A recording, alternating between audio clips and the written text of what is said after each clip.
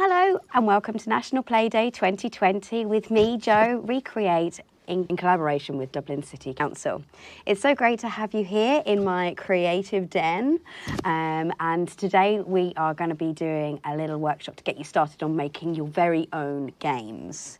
Now, I am a big believer in thinking that the old games are the goodies, and we're going to be adapting some of those games here today. Um, and then you might even catch a little glimpse of me playing them, uh, racing myself against the clock. Um, so I've been thinking about different things, um, and I have materials here from Recreate, our Recreate warehouse. Uh, but you might be looking at things that are in and around your home that you might be able to play with and create. And perhaps you're making games that you can do inside, or maybe for the outside, or maybe it's games that you can do both inside and out. Um, so I, like I said, I collected some materials. So I have some cups here, which I thought might be quite good for um, what do they, what do you call them? The things where you can run around them, uh, markers that you can run around. I also have a coffee sack here, and I was thinking of a sack race. If you didn't have a coffee sack like this, because I'm sure probably not many people do have uh, the these sack races to hand, um, you might want to use an old pillowcase as well that could work. Um, I wouldn't recommend using anything plastic because it might be a little bit slippery and we don't want any injuries. Okay, so that was one of the ideas. You could use coffee cups for markers, you could use the sacks for doing a sack race. Um, now, I also love the classic egg and spoon race, and I thought actually that it would be way more fun to make a spoon rather than use one that I might have in at home.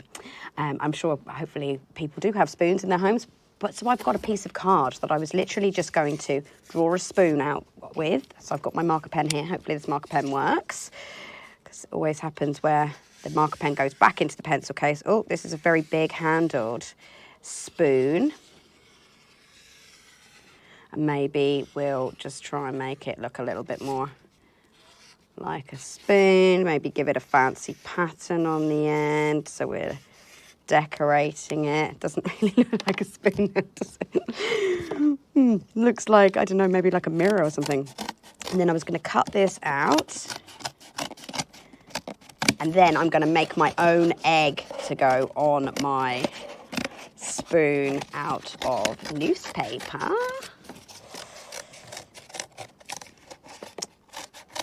So this is just one of the things that you could do.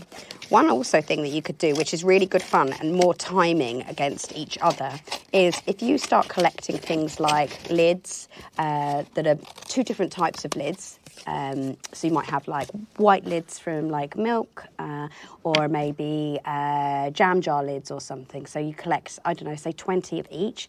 You put them into a bu- into one bucket and then they ha- you have to divide them up. So you might have your milk bottle lids going into one and your larger lids going, your other lids into another.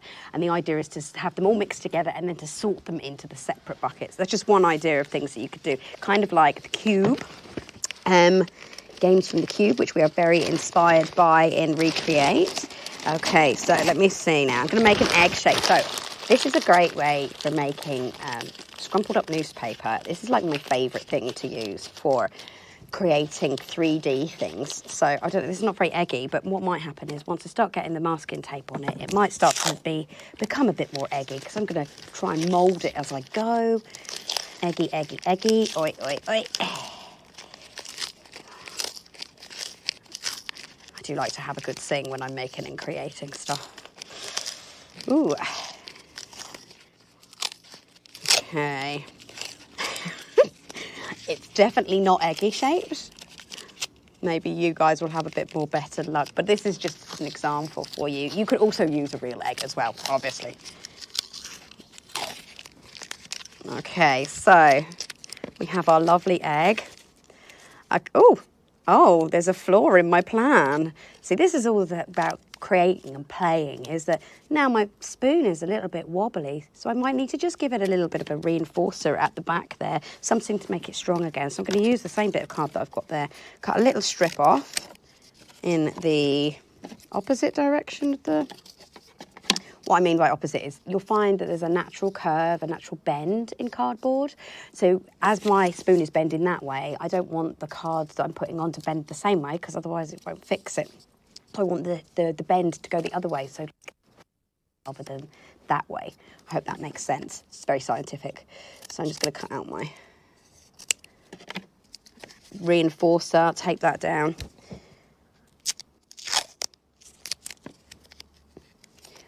You could make a whole multitude of cutlery. so we're still a little bit floppy. Okay, add a bit more on. Snippy snap snap. I'm actually going to sandwich it and put a bit on the front, so it's not going to be very pretty anymore, but oh well. Say la vie spoon. Okay, that looks pretty good, doesn't it? Okay, now. Whoa! So that actually actually works quite quite well. Um, so you could make up a few of those. So you could have different team players, like your family. Each one could have a spoon, and then you could race each other a distance. One other idea that I had. Um, oh, sorry, just thinking about my egg shape here um, is you can also make like a ring toss or a hoopla kind of thing, um, and a coconut shy as well. Uh, but maybe if you are doing some kind of like relay race or something, um, you might have to go around the markers, hop around the markers or something, then jump into the sack, then do your egg and spoon, and then the next one might be uh, you have to get one ring onto a tube, um, so like a ring toss type of thing, I just said there. Um, you have to get one, and then maybe you could do the. Oh, what could you do? You need something balancing on your head. I think is a really cool idea as well. So you could do not only the spoon, but you could have a piece of cardboard. Uh, attached to your head, so maybe on a hairband or a hat or something, a piece of cardboard, and then you could try and balance an egg or a ball or something on your head, or you have to get it a certain distance. You might even want to put a little lip around the edge of that. Um, so this is how I make my hoopla rings, and they're actually quite strong. So then what you would do is you just wrap the masking tape or your sellotape or whatever around and around and around, and that's quite firm, and it actually is quite aerodynamic as well. So it kind of is a good thrower. Um, what else could you do? Oh, I've got a big, I could just see out, out of shot here. Sorry, I should have brought it a little bit closer. I'll tell you what I will. Um, we have this lovely net stuff in at the moment, but you could use a net um, like a in your that you might have hanging in your window um, or a curtain or something, and lay it down on the floor. So you have to kind of crawl army style on the ground on your belly. So you're doing a mixture of games and uh, maybe an, an obstacle course. So I'm going to leave you there. I'm going to meet you in the park in a few seconds so you can see me trying to beat myself at uh, playing games in the park. So thank you for joining me. I'm going to say thank you now. Thank you for joining uh, me and Recreate and Dublin City Council for National Play Day 2020. And we look forward to seeing your creations and your races, would be great, um, uh, on our social media platforms. Come over and see us sometime. Okay, take care. Bye.